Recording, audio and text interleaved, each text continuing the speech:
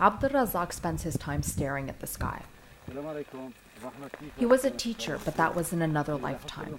He's a spotter now, part of a trained team on the ground across Syria who report their observations on the types of aircraft they see and the direction they're headed.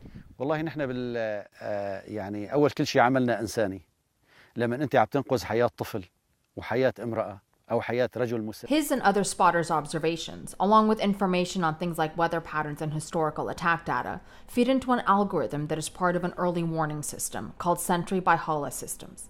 It reaches its users via Telegram and social media.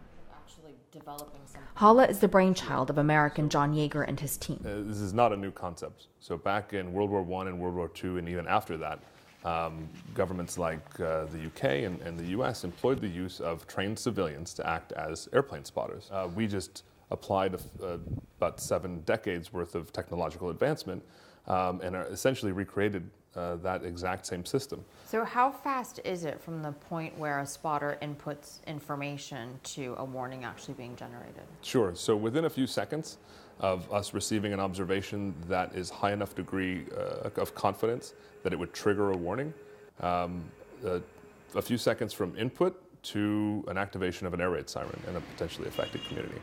In Syria, cell phone reception can be spotty, but Abd Sarman recommends Hala to his customers. قربة الطيارة مثلا خلينا نحكي على موقع يعني انه قربت الطيارة مني فبتدخل الطيارة مثلا اجواء معرزيتها، إذا كانت تجاه الغرب فأنا هون بتحذر يعني. Even for those who have a shelter, it's often makeshift. Mohammed, a young father of a two month old baby, dug out his own for his family and relatives. It's not much, but it's all they have. How effective do you think you've been able to be? Uh, in the case where we're able to measure casualties in a location that's under heavy bombardment before and after our system is, is put into place and activated, uh, we've seen up to a 27% reduction in lethality. John, a former State Department employee, says Hala came about as a realization that bars somehow stopping the bombs and violence, there are few options to mitigate the impact of indiscriminate killing. And it's not just about saving lives in Syria.